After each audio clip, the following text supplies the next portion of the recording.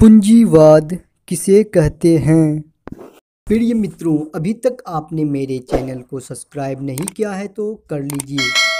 पूंजीवाद एक ऐसी अर्थव्यवस्था है जिसमें उत्पादन के संसाधनों का स्वामित्व कुछ विशेष लोगों के हाथ में होता है और इनमें ज़्यादा से ज़्यादा लाभ कमाने पर ज़ोर दिया जाता है।